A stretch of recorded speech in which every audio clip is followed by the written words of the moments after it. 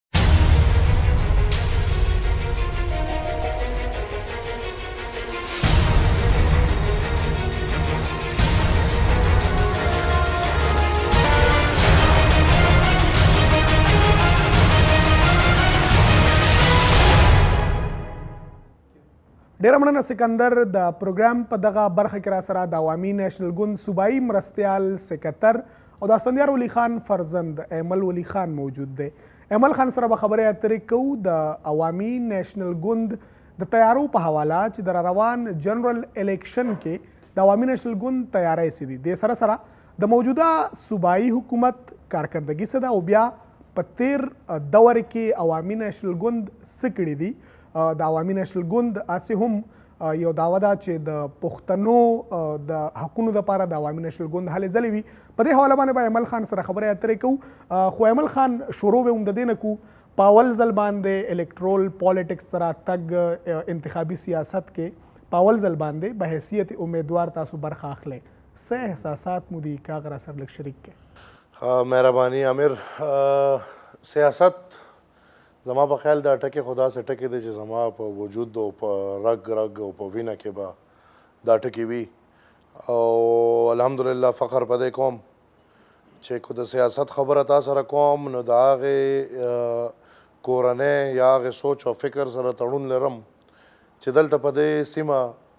ډېرې بادشاهتې به بدلې شوي چا به په جنگ کړي چا به په بله طریقه کړي واحد باچا خان و چې هغه د خپل قوم ته سیاست وخو دی باندې وګرځي د ګټ په ګټ او د خپل قوم سیاسي اصلاح وکړه او دا هغه وخت یو ډیر جابر قوت او انګريز چې ډیر طاقتور قوت و دا غي خلاف خپل قوم د سیاسي شعور په رڼا کې د عدم تشدد په لار روان کړ نو اول خو زه فخر به کوم پښتون قوم کې چې زه د باچا خان بابا کړوسې د ولی خان بابا نوسې او د اسفندیار خان زوی یم همدغه تسلسل کې چونکې خبره د الیکټورل پالیټکس ده نو زما الحمدلله زه په خپله د لس دولسو کالو نه چونکې تم خبرې دلته د چارسده کې زه په پارټۍ کې بطور د ورکر ډېر فخر ګڼم چې زه کار مې کاوه دا صوبایي تنظیم کې ماته تقریبا دې ځل دویمه عهده میلاو شوه زمونږ فیصله ټول عمر پارټي کوي او همدغه شان زما په خیال چې د پارټۍ په ما حقو زما په پارټۍ حق و، ددې خلکو به په ما حق و، زما به په دې خلکو حق و او هغوی فیصله وکړه چې ایمل خان به دې ځل الکټورل پالیټکس کوي. یعنې د پارټۍ فیصله وه چې تاسو به الکټورل پالیټکس ته لاړ شئ. دا زما د تنظیمونو، زما د ملګرو او لکه زه خو دې وخت کې په ټي وي باندې اونوت دا ویلی شم چې زما د پارټۍ هغه فیس هم ما نه دی جمع کړی هغه هم زما مرګرو جمع کړی دی او هغوی دا خواهش و چې زه دی په خپله بیا د پي کې اتلسمې حلقې انتخاب ولې آیا دلته مسایل ډیر دي که څنګه؟ همدغه کړی ده چې یو خو د چونکې الکټرال پالیټکس کولو نو د پي کې اتلسم زما کلی دی زما گاونډ دی زما خاندان دی زما رشتہ دار دی او بالکل کو حق مې ونو بیا د غیب په ما حق او زما په غی حق کو خدمت کول غواړم او سیاست کوم د باچا خان بابا پلار او د خدمت نو بالکل بیا زړومنه حق را باندې د خپل گاوند د یار دوست د تعلق د رشتہ دار د دی راځي او بیا ام زما د پی کې اټاره واله چې کوم زما د اتلسمې حلقې چې کوم تنظیمونه وو دا د هغې بنیادي فیصله وه چې بهي دی به د دې ځای نه امیدواري زه خو فخر کوم چې د باچا خان کورنۍ سره تعلق لرم نو دا ټوله پښتونخوا ما ته خپله علاقه ښکاري د پښتنو هره حلقه ما ته خپله حلقه ښکاري او پښتنو دا واضح کړم د په تاریخ کې چې ولی خان بابا اسفندیار خان د مختلفو حلقو نه ودرېدلی دی او هغه هغوی ته کامیابۍ ورکړي دي او هغه یې پارلېمنټ ته لېږلي دي. نو بلکل ما ته د پښتنو هره علاقه یو شان ده، خو دې ځل زما خپلې دې حلقې په ړومبني ځل تا چې څنګه ووې دا فېصله وکړه چې زه دې کورنۍ حلقې نه دې زما انتخاب وشي. عوامي نېشنل ګوند یو یو ډېر ښه حکومت تېر شوی دی، تېر دور کې پېږي اتلسمه حلقه کې عوامي نېشنل ګوند څه ګړي دي که په هغې راته لږه رڼا واچوی. الحمدلله زه نه د دې خاورې بچې بچې د دې ګواهي کوي چې په تېر دور حکومت کې موږ څه څه کړي دي تر څو پورې چې د اتلسمې حلقې خبره ده نو زه به د چارسدې خبره وکړم ځکه چې زما خبره به د اتلسمې حلقې پورې محدوده زه ځکه نه کوم چې دلته نه بنیادي طور اسفندیار خان د قومي اسمبلۍ ممبر او دې چارسدې لپاره چې موږ کوم په پنځو کالو کې خدمات کړي دي نو هغه بچې بچې د دې ګواهي کوي د ټولو نه اول خو د ټولو نه لوی پروجیکټ او زه پې خوشاله یم ډېر فخر پې کوم چې د باچا خان بابا د اسپۍ په حیث زما پارټۍ زما مشرانو په چارسده کې یو یونیورسټي جوړه کړې د باچا خان یونیورسټي الحمدلله زما د پارټۍ د دې اشنغر د دې پښتنو لپاره یو ډېر لوی انعام یو ډېر لوی تحفه ده بیا د انفراسټرکچر روډز خبره خو زه به نه کوم بلکې د سوات نه تر د پېښور چې دا کم ټریفک په چارسدې روان دی نو هغه ټریفک ګواهي کوي چې د چارسدې سړکونه ښه دي ځکه روان دي او دا سړکونه مخکې نه دي جوړ شوي دا سړکونه ډېر مخکې جوړ شوي وو دا ښه ده چې موږ ته پکې یو موقع میلو شوه او حکومتونه عوامي نېشنل پارټۍ مخکې هم کړي دي خو دې ځل زموږ چیف منسټر کېناستو او موږ ته موقع ملو شو نو الحمدلله د چارسدې نه واله تر د تنګي پورې چارسدې نه پېښور چارسدې نه نوښار چارسدې نه مردان دا غني خان روډ الحمدلله یو داسې د روډز یو داسې جالم خور کو په چارسده کې چې را روان لس پنځلس کاله شل کاله به خلک همدغه جال استعمالوي او د چارسدې ترقي به پې کېږي بیا دې سره دا یو په پښتونخوا کې داسې سپورټس کمپلیکس نشته لکه موږ چې په چارسده کې خان عبدالولي خان سپورټس کمپلیکس جوړ کړ او تاسو خو چونکې رپورټرز یې ګرځئ به په خپله تاسو به تللی تاسو به کتلی الحمدلله د انټرنیشنل سټانډرډ داسې یو سپورټس کمپلیکس جوړ دی چې بالکل زه وایم چې په یورپ کې په ولایت کې په امریکا کې بلکې ښه ډیولپډ کنټریز کې چې سپورټس کمپلیکس وي نو هغه به داسې سپورټ کمپلیکس نه لکه دا موږ چې جوړ کړی دی بل نن سبا دا د یو ډېر لوی پروجیکټ چالو شو جوډیشل کمپلیکس د عربونو روپو پروجیکټ دی د چار څه دی د لپاره زمنګ حکومت کړی دی او د دې ما چې درته څنګه مخکې وې چې فائدہ به خلک را روان پنځل شل کال کې نو د جوډیشل کمپلیکس هم همدغه شان را روان پنځلس شل کاله کې فایدې به ججان د هغوی کورونه وکلان ټول هر څه یو ځای ته راننوتل دا به د قوم ته هم فایده وي دا به دغه خلکو ته هم فایده وي دا به ججانو ته هم فایده وي دا به وکیلانو ته هم فایده وي هر میجر په لحاظ دا سیف ټیم راځي دغه شان د دنیا سکولونه کالجونه د رزړو کې د هشنغر وومن اینډ چایلډ هاسپټل چې دا زمونږ د عرباو روپو پروجیکټ دی سپیشلیسټ هاسپټل زمونږ ارمان دی چې په هر ضلع کې د منګ هم دغه شان سپیشل هاسپټلز جوړ کو ځکه چې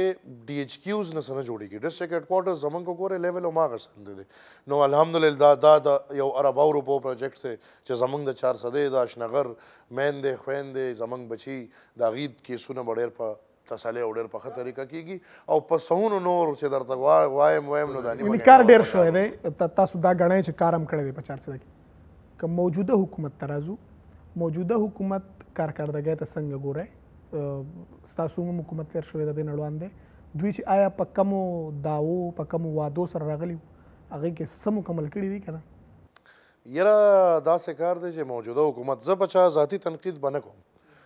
خو د سوچ او د فکر خبره په خپل ځای ډیلیور ته وای ډیلیور زه به ډیلیور دې ته وایم چې ډیلیور کول مطلب دا دی چې عام عوام ته لاندې په ګراس لیول په خاوره عوام ته څه فایده ملو شو نو امیر عالم ته ماته دا وایي چې په څلور نیمو کالو کې زما عوام ته څه فایده ملو شو اعلانونه خو د بلا بچی دی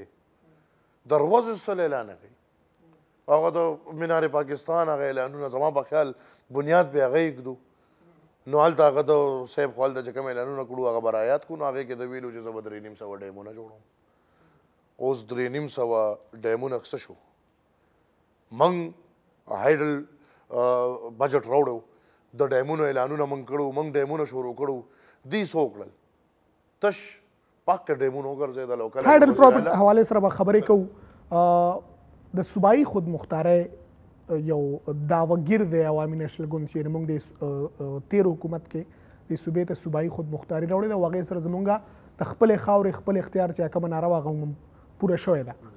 موجوده حکومت د صوبایي خودمختارۍ په لړ کې څومره حده پورې کامیاب دی ایا ستاسو چې کومه خواري وه هغه ضایع شوې خو نه د هغې کې کم اتلسم عیني ترمیم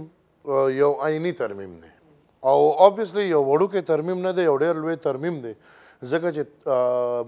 زه به دا ووایم چې دی خو سی پیک ته ګیم چینجر وایي خو اتلسم عیني ترمیم ګیم چینجر دی زما حق زما اختیار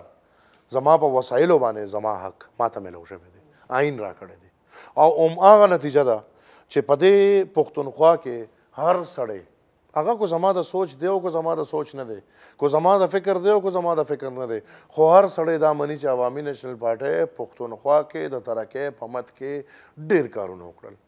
وجه دا ده موږ څه د جیب نه نه دي راوړی موږ څه څادر چاته نه دی خور کړی موږ څه د ایشین ډیولپمنټ بانک قرضې نه دي اخیستې موږ سم نه دي کړی موږ هغه د پښتنو اختیارات راوړي دي او په هغې پښتونخوا ودانه کړې ده په تېرو څلورو کالو کې څه وشوسته زما په خیال چې کم اختیارات موږ وروړو هغه زیات تر واپس تللی دي ستا صوبایي حکومت هغه اختیارات او استعمالولو لپاره ریګولیټري اتارټیز نشي جوړولې اتلسم عیني ترمیم څه دی زما په وسایلو زما حق زما تعلیم زما حق زما صحت زما حق زما ټریډ زما حق زما ګیس زما حق زما بجلی زما حق زما تماکو زما حق زما غنی زما حق چې څه زما هغه زما اوس ما ته دا ووايې موږ د ثوابۍ کټ په ټوبیکو سیس د هغوی د تماکو په پیسو موږ یونیورسټي اف ثوابي آباده کړه او روانه هم کړه. موږ د چارسدې شوګرکین سیس د دې د چارسدې د ګنو په پیسو باچا خان یونیورسټي آباده کړه او روانه هم کړه. موږ د کرکو کې د هغوی د ګیس په رایلټي باندې خوشحال خان خټک یونیورسټي آباده کړه او روانه هم کړه. دې موجوده حکومت تش د هغې لپاره ریګولیټري اتارټیز جوړ نه کړی شو یعنی څه ګټې اخیستل خو ته لوی د تیر څلور نیمو کالو نه ستا د ایجوکیشن منسټر ستا لپاره د ایجوکیشن ریګولیټري اتارټي نشي جوړولی ستا د پرایویټ سکولز لانجه اوسه پورې شته کو نشته نو همدقه زه به دی لراشم دی وی چې موږ خو بدل ته سرکاري سکولونو نه بداس شي جوړيږي چې دا پرایویټ سکولونه به ختميږي ویکړل څه اوس اعلان خو اعلان دی ویکړل څه چې مشتاق غنی منسټر که مشتاق غنی نوم دی ایجوکیشن منسټر ایجوکیشن هایر مشتاق غنی دی ایجوکیشن ولاتف دی مشتاق غنی منسټر مشتاق غنی په ابټ آباد کې خپل پرایویټ سکول چلی تاسو تاسو دا غواړئ چې هغه به څنګه ختموي هغه به څنګه ختم کړي ټیک شو هغه به د پرایویټ سکولز ریګولیټری اتارټي څنګه لګي هغه خپل ځان لخ پیغو نه وي هغه په خپل په پټ آباد کې د ټول نه لوس لوی سکول دا غدي هغه صاحب د منسٹر دی اوس دا منسٹر به د پرایویټ سکول لپاره فائدہ ورکړي کنه سرکاري سکول لپاره به فائدہ ورکړي د سرکاري سکول حالات بد نه بدتر د تېرو درېو دوو کالو د سرکاري سکولونو نتیجې راواله پرایویټ سکولونو سره وګوره حالات به تاته پته ولګي ټیک شو ډیلیورنس وی ایجوکیشن کې ډیلیور کوو خبرې به جاری ساتو نور خبرې اترې نور سوالونه هم شته ایمل خان پر وړاندې وګدو د صوبایي خودمختارۍ په لړ کې ایمل خان دغه غني چې صوبایي حکومت لا تر دې دمه د ادارو لپاره د ادارې هم لا نه دي جوړې کړي اتارټیز هم لا نه دي جوړ شوی چې هغه هغه ادارې وچلوي نو نور د هغې خو عام ولس ته فایدې لویه خبره ده زه د یو دمې طرف ته او د هغې وروسته راځو د ایمل خان پړوان دی نور سوالونه هم وږدو موږ سره اوسئ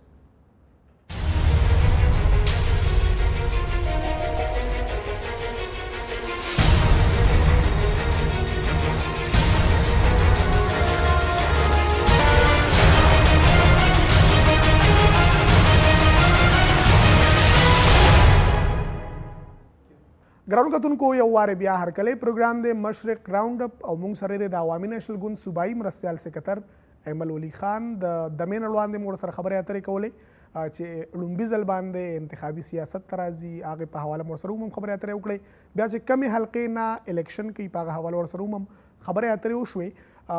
ایمل خان د صوبایي خودمختارۍ ذکر مو وکړ د ان اف سي ایوارډ پی ایس ډي پی په حواله موجوده حکومت څومره حده پورې کامیاب دی ان اف سي ایوارډ کې آیا څه ګټې راوړي دي صوبې ته عامر عالم اول تا نه تپوس کوم چې ان اف سي ایوارډ آیا زه او ته به پیژنو دا ډېر خلک به نه پیژني چې ان اف سي ایوارډ څه شي دی ان اف سي ایوارډ ګور هغه ایوارډ دی چې کم په کم د لاندې چې ستا د ملک د وسایلو تقسیم کیږي ستا د ټول ملک وسایل یو ځای ته راغونډېږي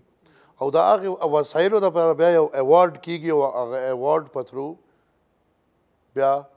مخکې تقسیم کېږي اوس دا ایوارډ کېږي د مردم شمارۍ نه پس هر ځل بدقسمتۍ نه زما مردم شماري کله کېږي لس کاله پس شل کاله پس نو د ان اف سي ایوارډ تعین کله کېږي فارمولا شل کاله پس او بیا دونه بد قسمت هم چې شل کاله پس زما مردم شماري کېږي او ټوټل فاټا زما پنځوس لکه خلک دی زما د ټوټل فاټا پنځوس لکه آبادي ده زه نه پوهېږم د دې خاورې یو پښتانه یو دا پنځوس لکه خو تش وزیر به یې دوه ضلعې دي زما د وزیرستان بیا د سی سی آی میټینګز سی سی آی څه دی کاونسل فار کامن انټرست د سی سی آی میټینګ به کیږي نو هغه کې به د ان اف سی اوارډ تعین کیږي او هغه د ان اف سی اوارډ د مردم شمارې نه پس په بیا د تقسیم یو فارموله جوړیږي نو ته هم په دې ملک کې جون تیرې تا ته یاد شي چې د سی سی آی میټینګ کله شوه دی زما په خیال زمنګ د نوی نسل د ډېر ټکی سره ډېر مشاهبت هم نشته چې د سی سی آی سدي میټینګ خلا پرې ده د دې ممبرانی د هری صوبې نه د وفاق نه او اغي کینی او اغي بیا د وفاق چې کوم صوبو کې کم کم سیټ اپ ته داغه باره کې یو میټینګ کوي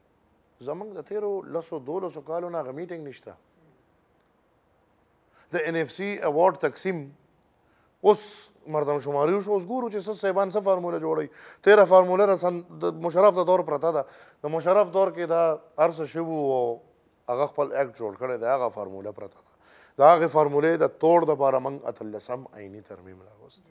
بلکل د اتلسم عیني ترمیم نه پس زما دغه شیزونو ته ډېر ضرورت نشته خو کو زه خپل حق د اسلام آباد نه په سمه طریقه راوړم کم چې تا مانه سوال وکړه چې موجوده حکومت نو موجوده حکومت ستا څه وکړل زه خو پوهېږم نه چې موجوده حکومت کړی څه دي ان اف سي ایوارډ باره کې بدی زما په خیال بیان هم نه راغلی مړه ته خو لا وی چې د ان اف سي ایوارډ باره کې دی کړی سدي موجوده حکومت خو ستا دې کې پروت ته چې زه د اسلام آباد او د لاهور تخ څنګه والم موجوده حکومت ستا دې کې پروت ته چې زه په پښتونخوا کې لوټه څنګه راغونډم موجوده حکومت ستا ځای کې پروت دی چې زه د هایډل پروجیکټ پیسې راوالم او ایم پی ایز له دې تقسیم کم هغې نه د لوټې جوړې کم او هغې دغه پیسې ولګوي او ما له د را روان الیکشن وګټي لکه ستا روان څه دي په دې ملک کې په دې صوبه کې او که فیسبوک ته ګورې که ټویټر ته ګورې نو صاحبانو هر څه کړي دي هر څه کړي دي کولاوریانو ته وایي، پنجابیانو ته وایي، سرایکیانو ته وایي، سندیانو ته وایي، بلوچیانو ته وایي، بلکل هغوی به په یقین وکړي. خو ای پښتنو! لکه تاسو خو دا څلور نیم کاله ولیدل، دا صاحب به لکه اوس څلور نیم کاله پس راځي او بیا به دا خبرې کوي او لکه دا تصور چې پښتانه به پرې بیا یقین کوي. ویې کړل څه څلور نیم کاله کې؟ دا تشه درنې د صوبايي اختیار سره چې څه خبرې تړلي تاسو دا غنئ چې هغه پکې اس نه سم نه هغه څه کړی نه دي نو هغه کو لکه غټه کړی وې نو ما تا ته بنن پخ کارې دل او تاسو به هغه اعتراف هم کړی چې کړی دی من ور سره ګوره چې کله قانوني ایشوز راغلي دي من بي ټي آی سره ودرېدلی یو من ور سره په اسلام آباد کې درنې هدا پورې کړی دی هغه بل خبره ده چې دی ال خپل ډیلونه کړی دی ورستو شوی دی من د قامي کاز کې هر ځای ته ځو هر چا سره ودرېږي د ترهګرۍ په ضد باندې د ترهګرۍ په ضد عوامي نېشنل ګوند ایون خپل ډېر لوی سړی بشیر بلور ورکه د میا صاحب زوی پکې لاړه دا ستاسو په زرګونو کارکنان لاړه ایم پی ایز مو لاړه موجوده حکومت که مونږ ګورو د ترهګرۍ په ضد باندې دوی اقداماتو ته څنګه ګورئ چونکې حالیه هم په اګریکلچر انسټیټیوټ باندې یو اټیک شوی دی ای پی ایس باندې اټیک وشو باچا خان یونیورسټي باندې اټیک وشو په دغه تناظر کې وایم د امن او امان په حواله باندې د موجوده حکومت پالیسۍ سره ملګری یې کم صوبایي حکومت زه به دونه ووایم چې کله هم د دونه لوی ایشو راځي لکه ته ترهګرۍ ته ایشو یادې امن او امان ایشو یادې نو کو هر څونه پروینشل اټانومي راشي خو ډیفنس ستا د مرکزي حکومت د وفاقي حکومت ذمہواري جوړیږي ستا وفاقي حکومت د دې ذمہوار دی چی ستا خلکو ته دی حفاظت یو محفوظه طریقه کی ژوند تا به څنګه ملاویږي اوس تیر حکومت کې تا چې څنګه وي مرګ او ژوند د خدای په لاس کې دی زما نیکه به وی وی چې کومه ګولې ماله جوړه ده هغه نه ما څوک بچکول نه شي چې کومه ګولې ماله جوړه نه ده هغه باندې ما څوک وشته نه شي تا چې څنګه وې ګوره دا زمنګ د قائد نه والا تر د وړو کې نه وړو کې ورکر هر چا باندې حمله مې هغه مرګ او ژوند د خدای په لاس کې دی او نیم سبا پکې شهیدان شو سبا کې بچ شو بشیر بلور تا نوم واغشت په پنځم موقع دی شهید شو د میا صاحب زوی یو زوی او تاسو کسی دي زمون سواد تننو زده یو یو ایم پی ای په یو یو کور کې یو ورس ورس کسان وجلې دي من د وفاقي د وفاق ذمہواری عوامي نېشنل پارټۍ په ځان اغشتې وه ځکه چې موږ د بابا پيروکار يو، موږ د ولي خان بابا د سياست جانشين يو، موږ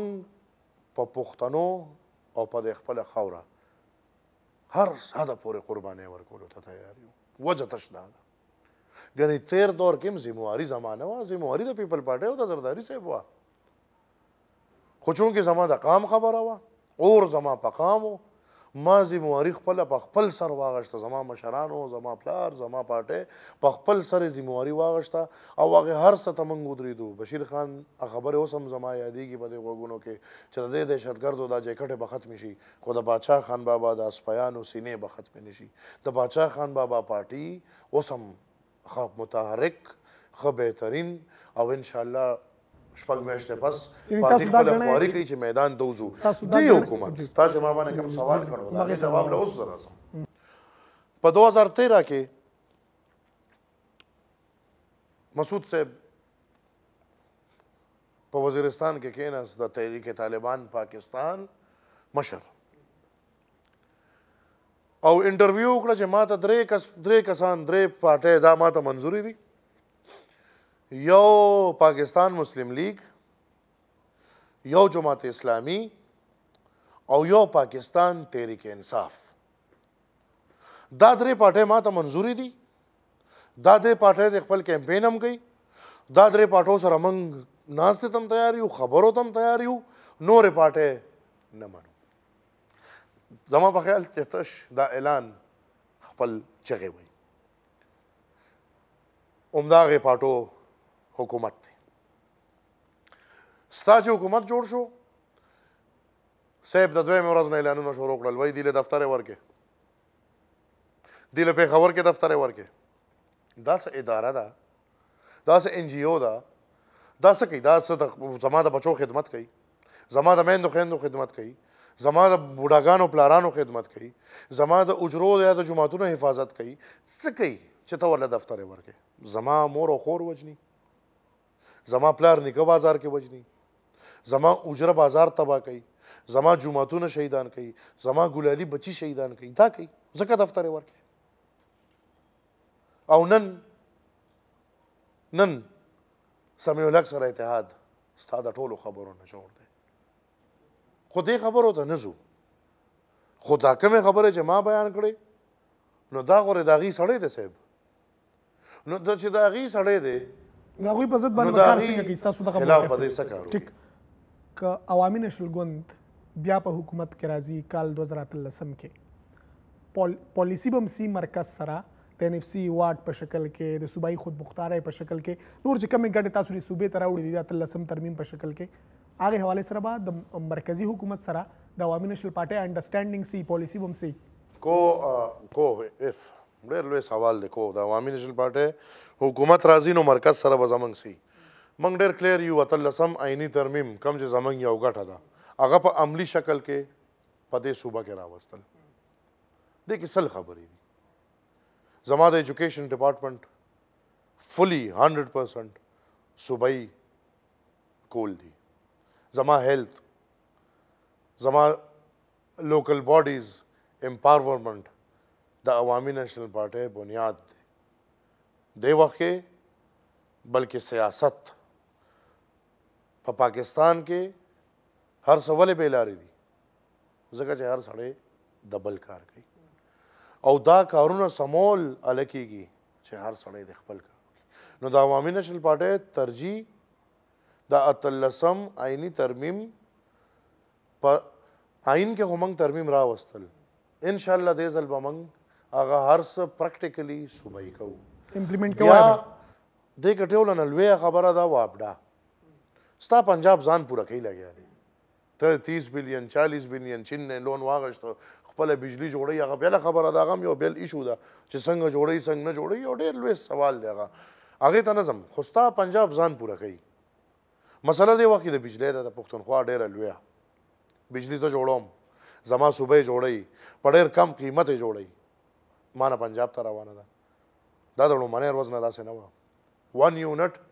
د دې لپاره جوړ شو. وابډا سره به څه کوی لږ زر راته ووایه. ون یونټ د دې لپاره جوړ شو. ون یونټ نه پس وابډا لاړه لاهور ته. زمونږ به انشاءالله دا خواري چې بجلي چې کوم زمونږ وابډه ده هغه دې پسکو ته اختیارمند شي. اخري سوال به کوم جي د پاکستان تحریک انصاف سره عوامي نېشنل ګوند به په راروان الیکشن کې مقابله څنګه کوي؟ آیا عوامي نېشنل ګوند خپل څه نوي منشور سره راځي او که نه د کال دوه زره اتلسم لپاره ورسره ورسره څه د الاینس د اتحاد څه امکان هم شته که نه؟ عوامي نېشنل پارټي چونکې امیرعالم تا ته پته ده چې دا یو داسې پارټي ده چې زمونږ آئین جوړ دی او په سن انیس سوه اټاون کې جوړ دی او زمونږ بیا خاص کاونسلې دي چې هغه کاونسلې دا اختیار لري چې هغه آئین کې امنډمنټس وکړي او که نه هغه آئین د الاینس اختیار ورکوي صوبایي کاونسل له نو بنیادي طور هر یو ذمه وار کومن کې هر څوک دی هغه دا اختیار نه لري چې هغه د اتحاد وکړي دا اختیار په صوبایي سطح باندې صوبایي کونسل به دا فیصله کوي چې آیا عوامي نېشنل پارټي به چا سره اتحاد کوي او چا سره به نه کوي کومه فیصله چې دې وخت کې لا نه ده شوې دې وخت کې عوامي نېشنل پارټي په خپل پروسس کې لګیا ده چې کوم کې زم ممبر هم پارلیماني بورډ موږ دې وخت کې خپل انتخابي تیاریانې شروع کړې دي او خپل هر حلقې نه کوم کې چې زما میلان وشو د پښتونخوا د ګوټ ګوټ نه خپل موږ سره امیدواران په سونو خلکو درخواستونه کړو او په هغه سونو خلکو کې موږ خپل امیدواران ټاکو لګیا یو دغه عمل نه تیریږو او تر څو چې در روان الیکشن خبره ده نو بالکل منشور دا د هرې پارټۍ حق هم دی او د قوم هم حق دی په هرې سیاسي ګوند باندې چې هغه د الیکشن ته کوزیږي چې د خپل منشور پیش کړي بیا د خوش قسمتۍ نه زه چونکې د منشور د کمیټې ممبر یم نو عوامي نېشنل پارټۍ دې ځل موږ ډېره خواري کړې ده او یو ډېر وسیع منشور موږ خپل قوم ته پیش کوو ډېر زر به یې موږ پیش کوو هغې کې بنیادي خبره آئیني اتلسم آئیني ترمیم په عملي جامه کې اصل شکل کې په دې صوبه کې راوستل دي هغه تلسم عیني ترمیم کې چې هر څه هغه کې ایجوکیشن دی هغه کې هیلث دی هغه کې چې هر څه راځي هغه د صوبې ته په عملی جامه کې راوستل دي بیا د سره سره نوې منشور سره مرزه دا غین علاوه پارلماني بورډ هم جوړ دی د اتحاد خبره صوبایي کونسل بکی پاکستان تحریک انصاف سره مقابله څنګه کوي را روان الیکشن کې پاکستان تحریک انصاف ځان سره مقابله کوي لګیا دی نو بس ځان یې په شرمو نه وشرمو اوبویسلی ما چې درته څنګه په دې خپله خبره کې وویل چې څلور نیم کاله کې خو پاکستان تحریک انصاف ډلې ورنه کړه هیڅ هم ډلې ورنه کړل یوازې د درنو نه د اسلام آباد او د لاهور د تخت د جنګ نه هیڅ ونه کړل ما له برې بلیون ټری سونامي وي دا ګرین بیلټ جوړوم کال پسې روانوم اوس د په خپله یو شي ستا جنګ لا بس د ده الفاظ دي زما نه دي وي جنګ لا بس جوړېږي اوس اومقه ګرین بیلټ باندې دا ربه روپۍ ولګېدې اوس دونه نا اهله و چې دوه کاله پس دي ته سوچ راغی چې نه کم ده ربه روپۍ موږ په ګرین بیلټ ولګولې هغه ټیک نه دي لګېدلی هغه واپس کنو او دلته اوس هماغه د بس سیستم جوړو لکه ګپ ولګېد څلور نیم کاله پښتنو سره ګپ ولګېد عوامي نیشنل پارټي یو خواري کړې وه یو بنیاد و پنځه کاله کې محنت کړو اؤ مونږ پروپیګنډو هغه وخت سره ووالو ورسره هغه صاحبانو د چا چې ذکر وشو هغوی مونږ پریښودو نه زه سلام کوم بیا سلام کوم او بیا سلام کوم دغه پنځو لکو پښتنو ته چا چې په دې حالات کې عوامي نیشنل پارټۍ له ووټ ورکړ. ځکه کو هغه د کوره راوته وی ولیدې کو کمپ به مې جوړېده ولیدې کو پولینګ سټیشن ته به زما مرګري ورتلل دماکه در باندې کې او دام نه چې تش خبرې وشوې دلته دې چارسده کې په شیخو کې په پړانګو کې په چارسده کې په ثوابه کې په پیښور کې په کیمپین په منس کې هم زما په مرګرو زما په امیدوارانو دماکې کې دې منګ جنازې کولې خلکو الیکشن کو په هغه حالات کې منګ مقابله وکړه او فخر کوم پنځه لکه وټ ما په دې صوبه کې واغشت منګ څلور نیم کاله بیا په میدان لګیا یو خواري کو خلکو ته اصل تصویر خایو زما قام فورن دوکه کیږي پاغه منفي پروپاګاندا کې دوکه شو ما ورلزان وجه وی منفي پروپاګاندا وروته وی په امریکای باندې خرڅ دي اوس ورور هغه خبره موږ را کلیر کوو اوس زما عوام ته پته لګي چې نه بھائی میدان جوړ دی عوام ته اوس پته لګي چې بھائی عوامي نېشنل پارټي خو زما د پاره ځان وجلې دی عوامي نېشنل پارټي خو زما د پاره کو پدې خوره چې اصل بدلون راوسته دی نو عوامي نېشنل پارټي چې دلته تعلیم تعلیمي بدلون راوس په چپ خله عوامي نېشنل پارټي چې مال سړکونه جوړ کړل مال لارې کوسې پخې کړې عوامي نېشنل پارټي ته چې زما د خاورې حفاظت په وخت کې زما دپاره په میدان ولاړه وه، اوس قوم ته دا خبرې رسي او ان شاء الله همدې خوارۍ د لاندې موږ خپله خواري یو اونه چې د سلو کالو نه ده او پي ټي آی خو یو چا کالتوسو چلېدلی وو، وچلېده، عوامي نېشنل ګوند به د کارکردګۍ په بنیاد را روان الېکشن کوي او عوامي نېشنل ګوند تیار دی پاکستان تحریک انصاف سره مقابلې لپاره. ډېره زیاته مننه کوم ایمل خان تاسو نه چې خپل. قیمتي وخت مو راته راکه ګرانو کتونکو مشرق راونډ اپ کې را سره نن ایمل ولی خان ملمو هغوی سره مو خبرې اترې وکړې د عوامي نشل ګوند تیارې څه دي د موجوده حکومت کارکردګي څه ده او تیر حکومت کې عوامي نشل پارټۍ څه کړې دي په دغه موضوعاتو مو ورسره خبرې اترې وکړې خپل ملګري عامر عالم لور کې اجازت پلوي الله مسپارم پلوي الله پامر